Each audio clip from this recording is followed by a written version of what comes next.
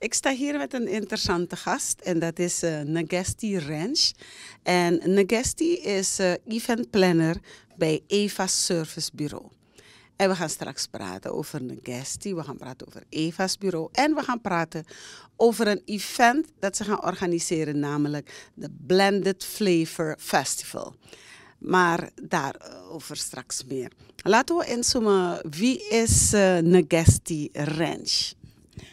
Ik ben uh, eventplanner bij Eva Service Bureau. Ik um, werk momenteel al ongeveer vier maanden bij Eva's. Ik ben van jongs af aan gepassioneerd in het organiseren en plannen van evenementen. Zowel um, personal weddings, birthday parties. Mm -hmm. En het is nu mijn doel om een beetje te groeien in die afdeling. Ja. Maar wat we willen weten, uh, je bent nu bij Eva's uh, servicebureau. Hoe ben je daar terechtgekomen? Wat, wat heb je gedaan? Heb je ervoor gestudeerd of gewoon, oké, okay, ik vind het leuk, dus ik ga daar werken?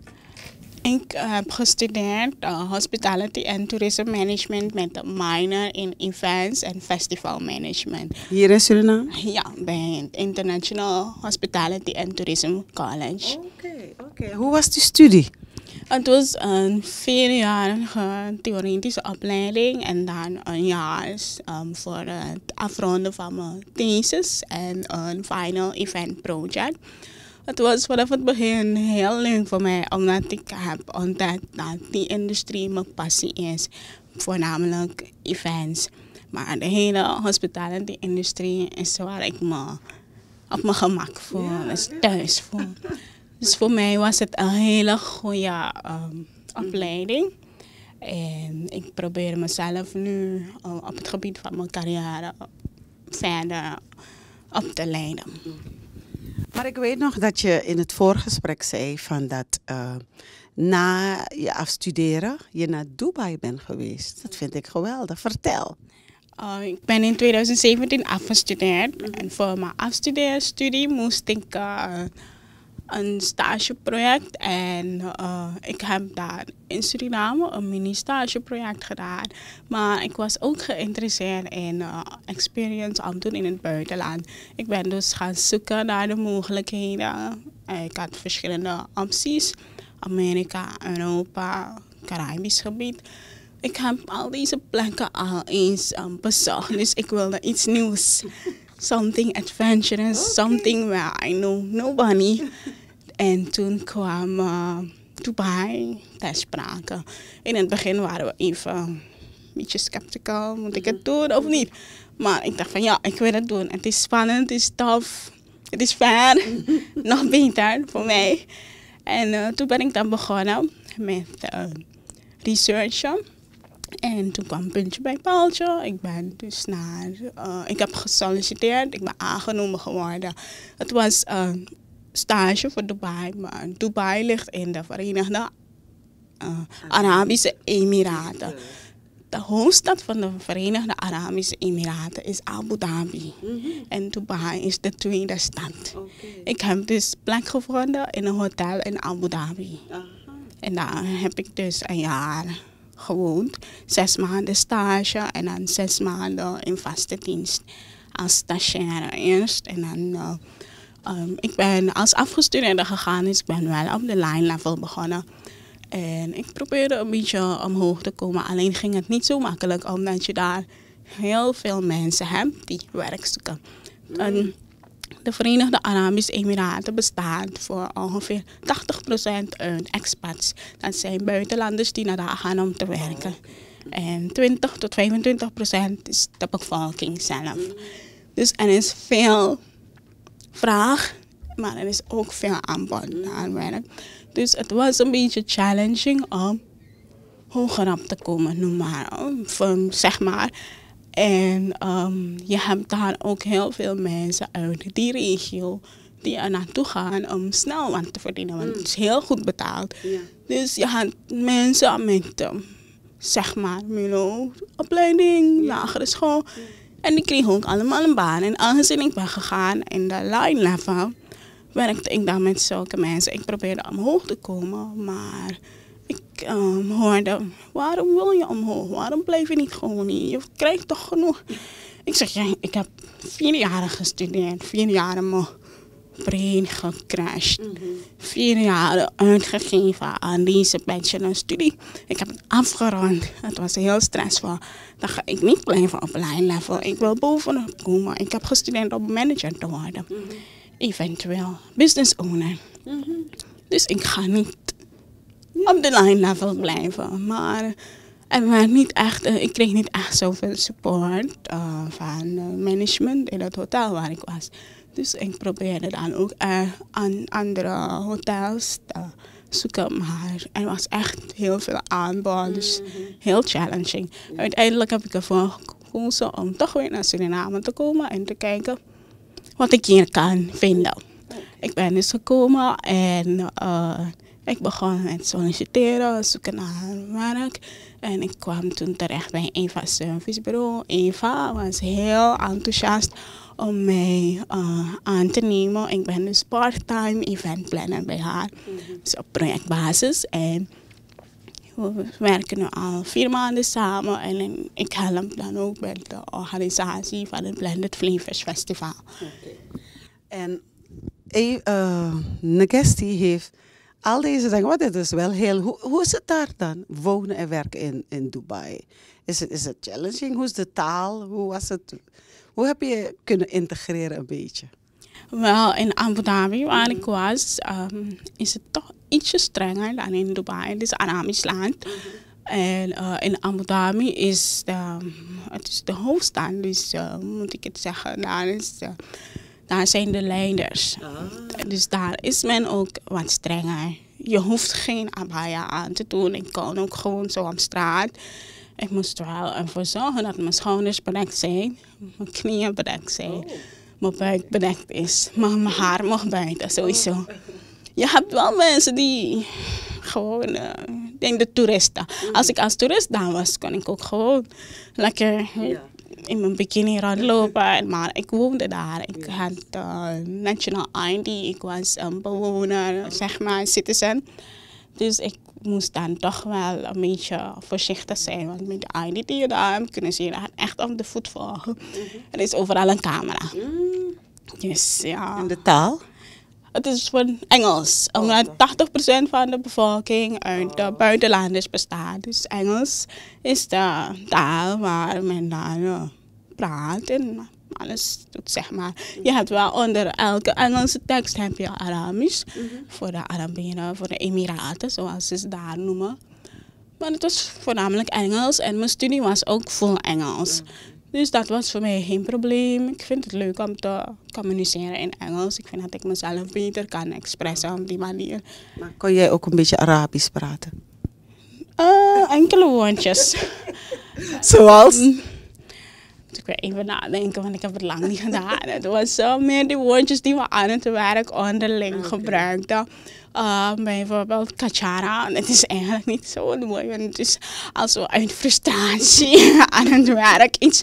Een collega maakt je even boos. Kachara, dus dat was niet. En um, ja, inshallah. Dat gebruikt men ook vaak. Dat betekent even God wishes. Nou, zoiets is om jou wel te wensen dat gebruikten de klanten vaak naar je toe als je ze een goede service aanbod en uh, je vraagt ze om terug te komen, om je um, service nog eens te experiencen, dan zeggen ze meestal inshallah. Dus dat zijn een paar woordjes. Ja, want alles was Engels, dus ik heb me niet echt gefocust op de taal. Nou, dus dan hebben we dat gehoord. Hè. Ze ziet er zo klein uit en ze was helemaal naar Dubai en is daar een jaar gebleven. En weet u, ze willen niet over praten, maar Negesti heeft dit, deze uitdaging is ze aangegaan.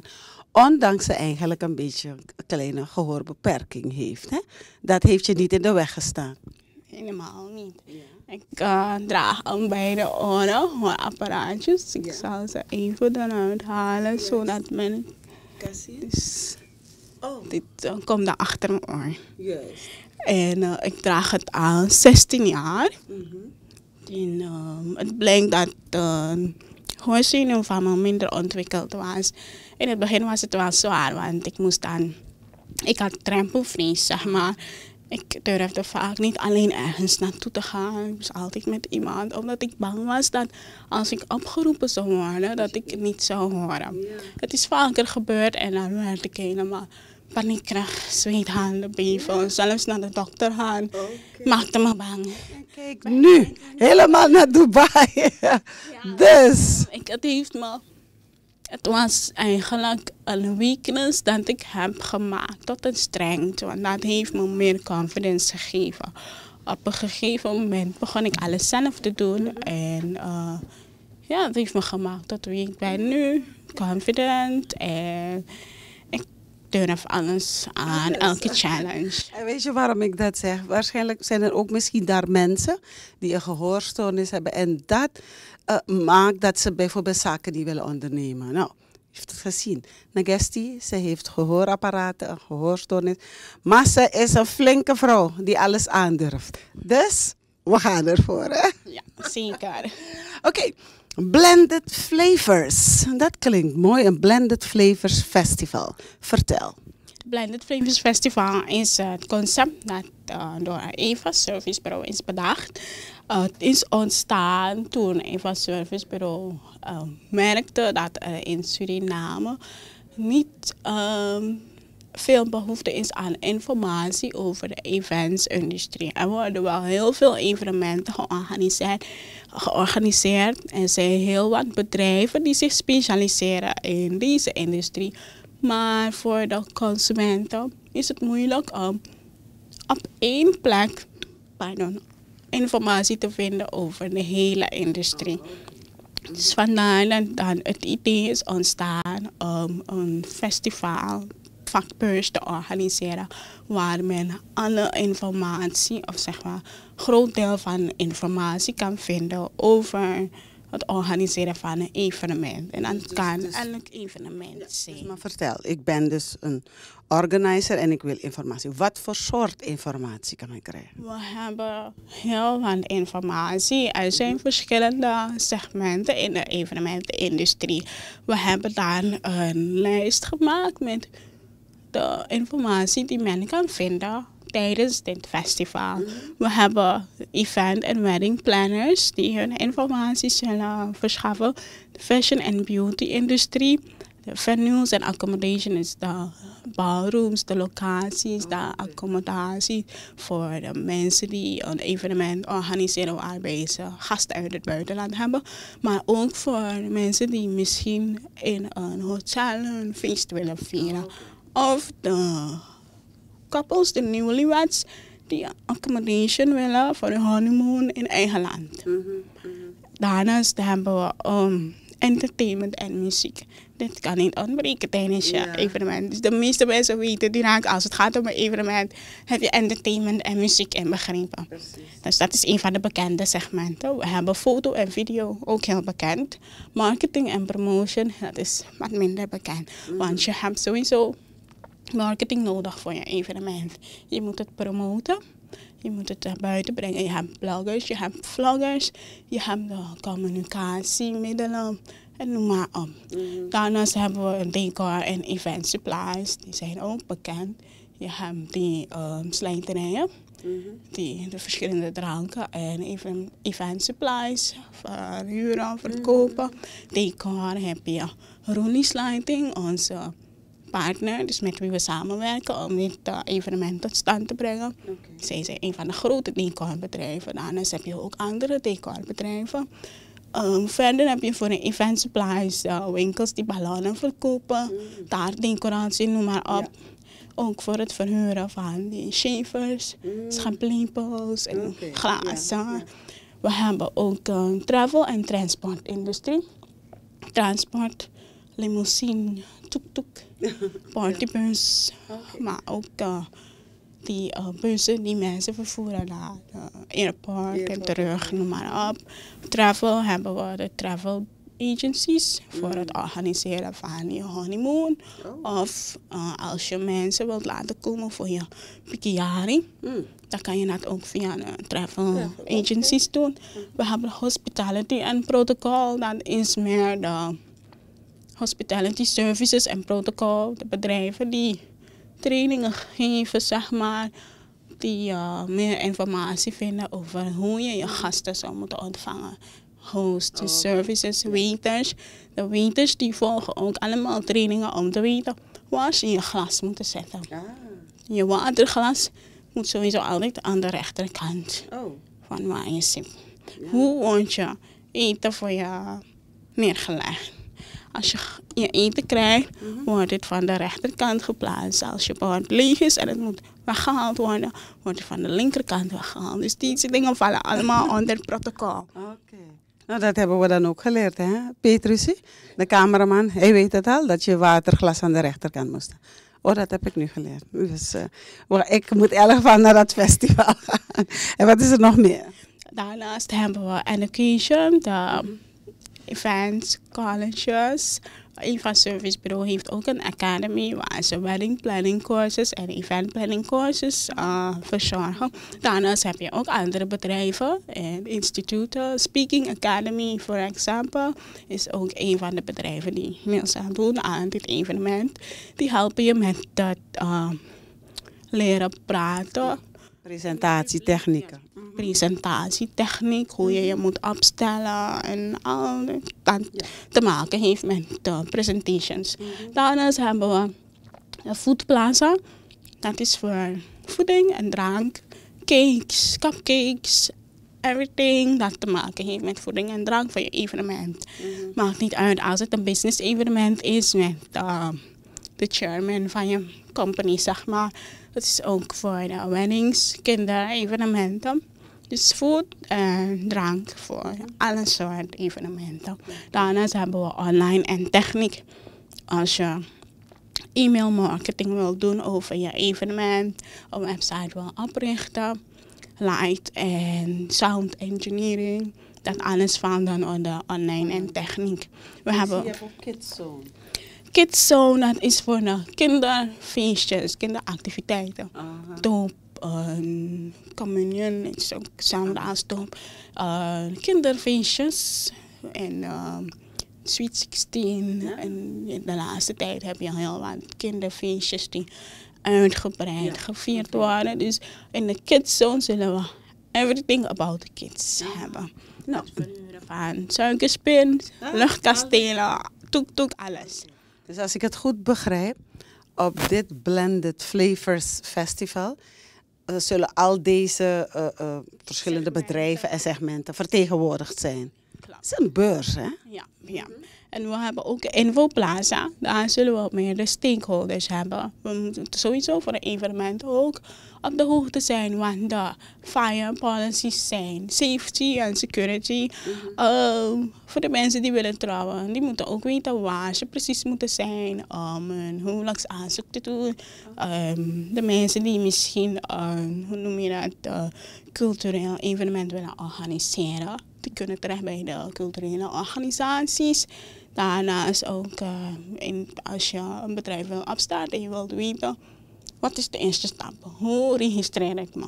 Kan je dan ook informatie opdoen bij de infoplaza. Dus we hebben geprobeerd om van elke segment tenminste één company of organisation te betrekken in dit evenement. We zijn nog bezig met het uh, zoeken naar deelnemers. En de registratie is nog steeds open. Iedereen uh, die... Wanneer? Uh, we hebben geen deadline. Oh. Maar we hebben wel, we houden de mensen up-to-date volgens via onze social media pagina's. En ook via tv en radio. Um, bepaalde segmenten hebben we minder plek. Want we kunnen bijvoorbeeld bij de infoplaza niet meer dan tien van één bedrijf, zeg maar. Ja. Voor de decorbedrijven en de event suppliers kan je wel meer van één soort. Maar bepaalde categorieën hebben we wel een beperkt aantal. Dus uh, we proberen dan uh, de mensen up-to-date te houden van welke plaatsen nog beschikbaar zijn. Wanneer is dit en waar wordt het gehouden? Het Blended Flavors, Blended Flavors Festival wordt gehouden op 28 september van 4 uur 's middags tot 9 uur tot 10 uur s avonds. En op zondag 29 september van 1 uur s middags tot 9 uur s avonds. Het wordt gehouden op het terrein van Roelies. Dat is Roelies Event Venue aan de Kronenburgweg 69. Dat is in Wanica. Het is om de hoek van de Magenta-kanaal en de Friedrichshoofdweg. Dat klinkt allemaal eh, heel leuk. En ik zie dat je ook zo'n poster hebt meegenomen. Hè? En oh, ik zie ook hier entree gratis. Gezellig. Entree is gratis. En, en de mensen kunnen met de hele familie er naartoe. Klopt, klopt. Iedereen is welkom, jong en oud. Ook ehm, de mensen die uh, een bedrijf vertegenwoordigen om meer informatie op te doen. En ook gewoon de, de families die een evenement willen organiseren. We hebben ook, een, behalve de deelnemers aan de beurs, hebben we ook eh, een fashion show op 28 september van 8 uur s avonds tot 9 uur s avonds. Tijdens deze fashion show zullen we dan eh, verschillende avondkleding en uitgaanskleding tentoonstellen. Niet alleen voor huwelijken, maar ook voor business events, birthday parties. En we hebben ook live entertainment. En we zullen games hebben en winacties. We proberen ook de deelnemers te bemoedigen om acties te ontplooien voor hun bezoekers. We zullen kinderactiviteiten hebben, schminken. En, en uh, dus alles dat te maken heeft met uh, feesten voor kinderen kunnen ze ook een beetje live meemaken. We zullen ook workshops hebben. En dus, um, zeg maar cupcake decoration workshops en uh, dat soort. Om de mensen bezig te houden. Zodat ze niet alleen maar informatie opdoen, maar ook een beetje experiencen hoe het, hoe het zal zijn als ze eenmaal een feest organiseren. En uh, de, ex, uh, de mensen die willen deelnemen kunnen ook altijd nog registreren. We hebben een telefoonnummer 7717600 en op onze website blendedflavors.com kunnen ze ook meer informatie vinden. Het intree is gratis voor ieder. Het wordt georganiseerd door Eva Service Bureau en Roelies Lighting en Decor. Beide zijn ze bedrijven die al heel lang hun services verlenen in Suriname en ook in het buitenland.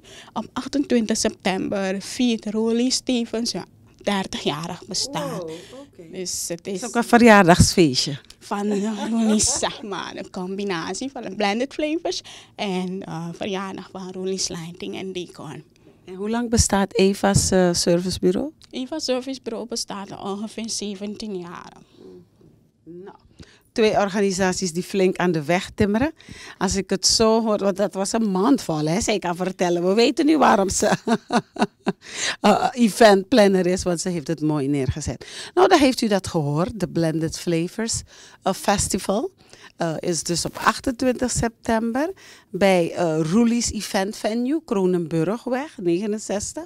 Maar als u uh, op hun website gaat, dan krijgt u meer informatie daarover. In elk geval hebben we lekker kennis gemaakt met de hele spontane en flinke, want ze zeggen ik mag er geen vriendinnetje noemen, maar vriendin, Nagesti Ranch, over zichzelf en over dit festival dat op 28 september gehouden wordt. Heel veel succes. Dank u wel.